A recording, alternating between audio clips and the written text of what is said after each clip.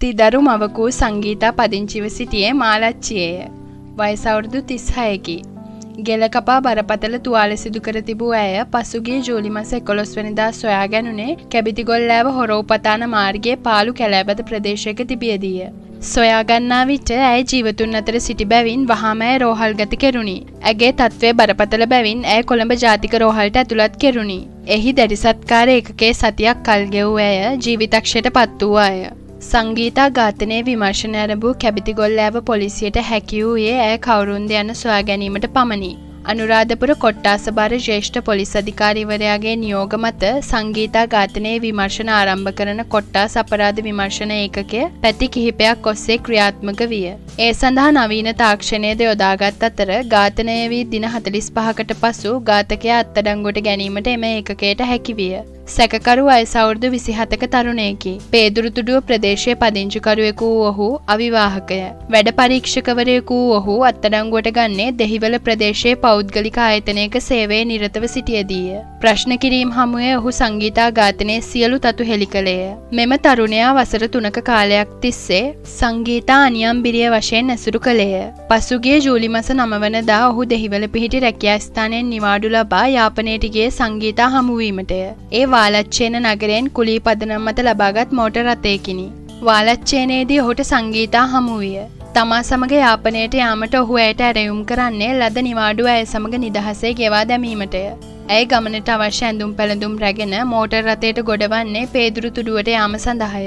එහෙත් පෙම්වතා ඇය කැටුව කැබිතිගොල්ලෑව හොරෝපතාන මාර්ගය ඔස්සේ විත් එම මාර්ගයේ පාලු කැලෑබද ස්ථානයකදී තිවුණු මෝහත් ඇති කුඩා පිහියකින් ගෙල කපා ඇය කැලෑවේ දමා පලා ගොස් තිබිණි. බරපතල කැපුම් තුවාල ලබා සිටි සංගීතා කැලෑවදිගේ බඩගාගෙන ප්‍රධාන මාර්ගය ආසන්නට පැමිණ සිහසුන් වී සිටියේදී එම මාර්ගයේ ගමන් කළ විශ්‍රාමික යුද හමුදා සෙබලෙකු දකින අතර ඔහු 19 යනුව ගිලන් රථයක් ගෙන්වා සංගීතා රෝහල් ගත කිරීමට අවශ්‍ය පියවරගෙන කැබිතිගොල්ලෑව පොලිසියටද ඒ බව දන්වා තිබුණි. බරපතල කැපුම් තුවාල ලබා සිටි සංගීතා කොළඹ ජාතික රෝහලට ඇතුළත් කර දින කිහිපයක් එහි දැඩි සත්කාර ඒකකේ ප්‍රතිකාර ලබමින් සිටියේදී ජීවිතක්ෂයට පත් වූවාය.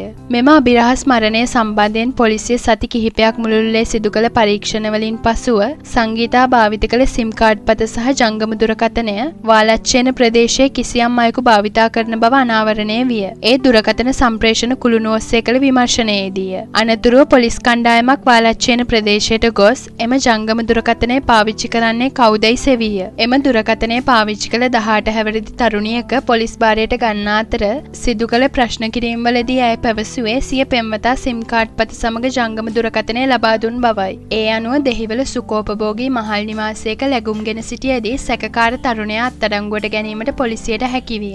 සැකකරු යාපනයේ පේදුරුතුඩුව වවුනියාව සහ දෙහිවල යන ප්‍රදේශවලින් ඔහුගේ හැඳුනුම්පත් අංකයට සිම් කාඩ් පත් තුනක් ලබාගෙන තිබෙන බවත් ඉන් එකක් සංගීතා භාවිත කළ බවත් පොලිසිය අනාවරණය කරගත්තේය. පොලිසිය කළ ප්‍රශ්න කිරීමේදී තමස්සිය අනියම් බිරියගේ ගෙල කපා මරා දැමූ බව පාපොච්චාරණය කර තිබුණි. ඔවු මම එයාගේ බෙල්ල කැපුවා පොඩි පිහියකින්. ඒක යතුරු රඳවන එක තිබූ කුඩා පිහියක්. මම යාව කැලේට ඇදගෙන ගිහිල්ලා බෙල්ල කපලා දාලා ආවා. මම යත් එක්ක වාහනේ එද්දී යාගේ ෆෝන් එක ඉල්ලුවා. නමුත් එයා මට ෆෝන් එක දෙන්නේ නැතුව මගේ පැත්තට විසි කරා. ෆෝන් එක විසි කරපු පාර කාර් එකෙන් එළියට වැටුණා. ෆෝන් එකේ මුහුණත වීදුරුව බිඳුනා. ඒ අවස්ථාවේ තමයි මේ ගැටුම ඇති වුණේ. යනුවෙන් සැකකරු පවසා තිබිණි. සංගීතා ඝාතනයට යොදාගත් කුඩා පිහිය සොයා ගැනීමට පොලිසිය විශාල උත්සාහයක නිරත වී ඇතත් එය සොයා ගැනීමට නොහැකි විය. සැකකරු පෙම්වතියගේ ගෙල කැපීමෙන් පසුව පිහිය කැලයට විසිකර දැමූ බව පවසා තිබිණි.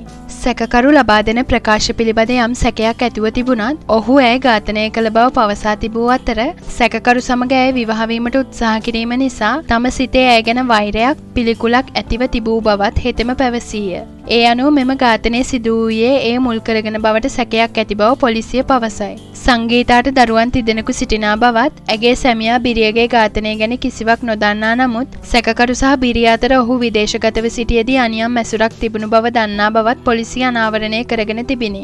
අන්තර්ජාල තාක්ෂණය ඔස්සේ මරණකාරී වූ නිරුවත් ඡායාරූප රැසක් සැකකරුගේ ජංගම දුරකථනයේ දත්ත ගබඩාවේ තිබී පොලිසියට හමු විය. අත්අඩංගුවටගත් සැකකරු වැඩිදුර පරීක්ෂණ සඳහා කැබිතිගොල්ලෑව මූලස් මහස්ථාන පොලිසියට බාරදී ඇත.